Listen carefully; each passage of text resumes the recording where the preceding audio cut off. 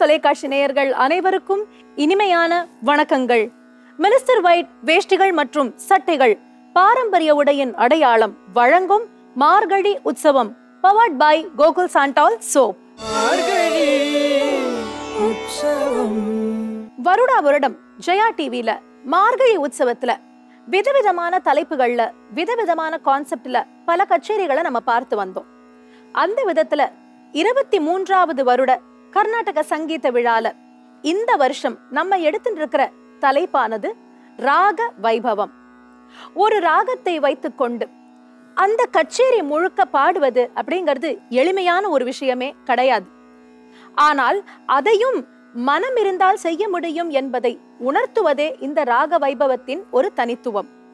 இந்த ராக வைபவத்துல ஒவ்வொரு நாள் ஒவ்வொரு ராகத்துல இருக்கக்கூடிய விதவிதமான பரிமாணங்கள் அற்புதமான பல கீர்த்தனைகளை நாம் காண இருக்கின்றோம்.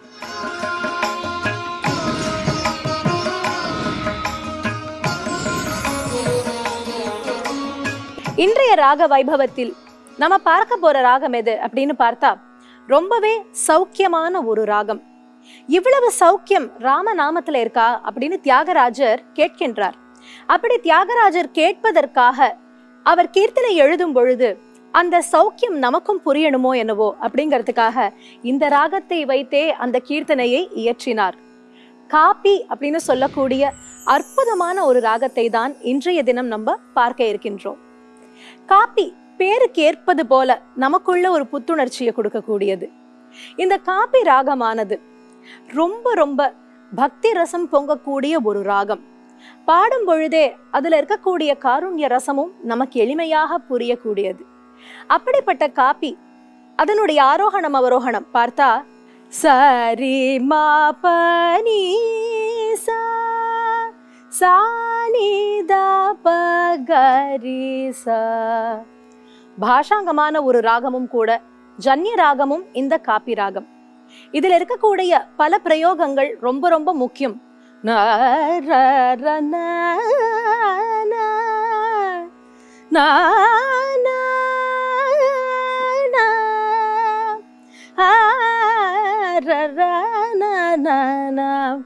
அது போல காந்தாரத்துக்கு ஒரு முக்கியத்துவம் கொடுக்கிற ராகம் இந்த காப்பி. இப்படிப்பட்ட ராகத்துல இருக்கக்கூடிய கீர்த்தனங்கள் முதல்லயே சொன்னேன் இந்த சௌக்கிய ஜபஜால இது காப்பி ராகம். அதே தியாகராஜர் மீ வல்ல குணதோஷமே மீ இதுவும் காப்பி ராகத்துல ரொம்ப பிரபலமா இருக்கக்கூடிய கீர்த்தனை பாபநாசம் சிவன் அவர்கள் எழுதிய என்ன தவம் செய்தனை? யசோதா எங்கும் நிறை பரபிரம்மம் அம்மா என்றழைக்க. இதுவும் காப்பில. அதே போல ராகமாலிகாவான சின்னஞ்சீரு கிளியே அதுல வர அந்த முதல் பேராகிராஃப் இந்த காப்பி ராகத்துல இருக்கு. திரையிசையிலையும் இந்த ராகமானது நிறையாவே யூஸ் பண்ணிருக்காங்க. அப்படி பார்க்கும் பொழுது ஹே பாடல் ஒன்று அப்படிங்கிற பாட்டு இந்த காப்பி ராகத்துல ஆலங்குயில் கூவும் ரயில் அப்படிங்கிற பாட்டு இந்த காப்பி ராகத்துல அமைஞ்சிருக்கு. இப்படி பல பரிமாணங்கள் கொண்ட காப்பி ராகத்தை இன்றைய தினம் நாம் அனுபவிக்கலாம். இன்று இந்த காப்பி ராகத்தை தேன் அமுதாக நமக்கு தர இருக்கக்கூடியவர் குழலிசை வித்வான் ஸ்ரீ சஷாங்க் சுப்பிரமணியம் அவர்கள். சைல்டு ப்ராடிஜி அப்படின்னு சொல்வது போல வெகு சிறிய வயதில் இருந்து குழலிசை வாசித்து வருகின்றார். தனக்கென்று ஒரு பெயரை மிகவும் சிறிய வயதிலேயே ஒரு முத்திரையாக பெற்றவர் சஷாங்க் சுப்பிரமணியம் அவர்கள். இவருடைய குழலிசையானது உலகம் முழுக்க பிரபலம். இந்த வருடத்தின் செவாலியர் விருதையும் இவர் பெறுகின்றார். இவரோடு இன்று மேடையில் இருக்கக்கூடிய சக வித்வான்கள். வயலின் ஸ்ரீ விட்டல் ரங்கன். மிருதங்கம் ஷேர்தலை ஸ்ரீ ஆர் அனந்தகிருஷ்ணன். தம்புரா சீதாலட்சுமி அவர்கள்.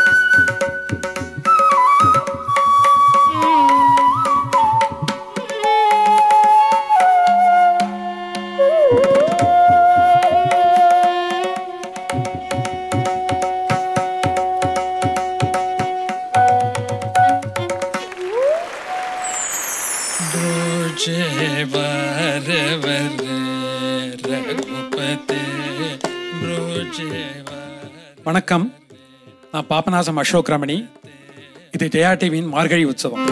ஜெகன் இந்த வருஷம் ராக வைபவம் என்கிற கான்செப்ட்ல நான் ஸ்ரீரஞ்சனி ராகத்து அமைஞ்ச கீர்த்தனைகளை பாடுறேன்.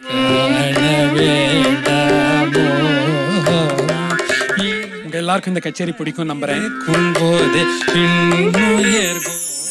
இன்றைய காப்பி ராகம் குழலிசையில் திரு சசாங் சுப்பிரமணியம் அவர்கள் நமக்கு அளித்தது தேனாக உங்கள் காதில் பாய்கின்றது என்று நம்புகின்றோம்.